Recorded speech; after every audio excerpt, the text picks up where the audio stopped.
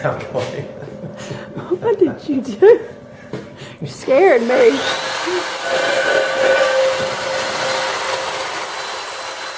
I just go show you right there. It don't matter how safe you are, how precautious you are, accidents can happen. But it's better to be uh, smart and wear safety glasses so you won't your eyeballs out. Can't tell you I did tell you.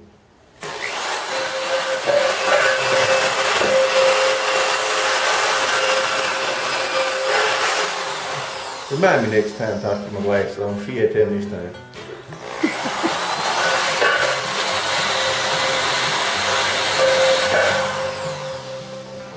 All right, y'all. Well, this is my pipe right here. I'm gonna be reaming my hole out with this, a six inch pipe. And uh, what I did, I just welded me a, a uh, handle on top where you know, I can grab it, and hook my rope to it, and, uh, put it down the well. And let me show you the bottom right here. See that right there? It's got a chamfer edge all around it. And that's to uh, make it a lot easier to uh, cut the clay going down through there. I just took my grinder and I started grinding on it. And I put an edge all around it.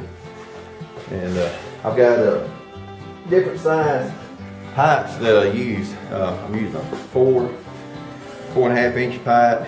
Then I got a five and a half inch pipe. Then I've got this six inch uh, pipe and I got a six and a half. So I'm just door stepping uh, right now.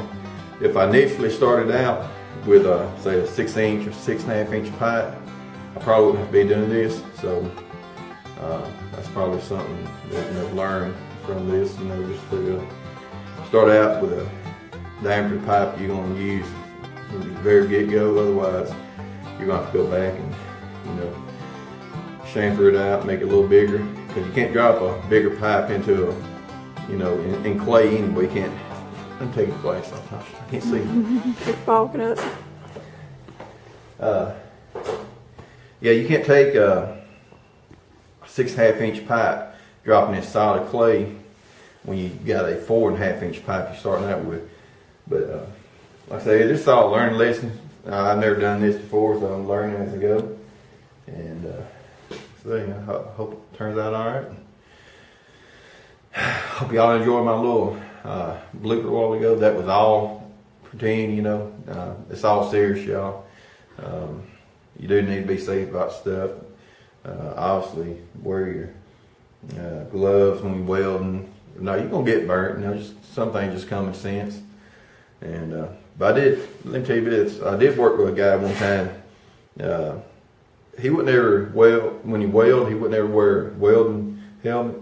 And I, uh, he, he just weld, and I said, how, how do you do that without, you know, hurting your eyes? And he said, he, he don't look at it or whatever, but I, I never did understand it, but uh, I'd work with him, and he'd weld stuff and never put a welding helmet on. I'm not telling anybody to do that because, uh, because I, I just don't know how he did it, but anyway. All right, I've talked enough, Tasha.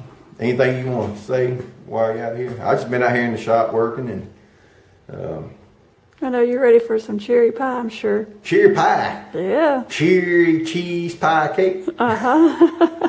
a cheese cake. What y'all call it? Cherry cheesecake Cake pie. pie. Yeah. I don't know why they call it cherry cheesecake because it's a pie. I mean, uh, so we just call it cherry cheesecake pie. All right, all right, y'all. Appreciate y'all watching the video and, uh, just having a little fun out here. But we're getting getting something done. That's the main thing.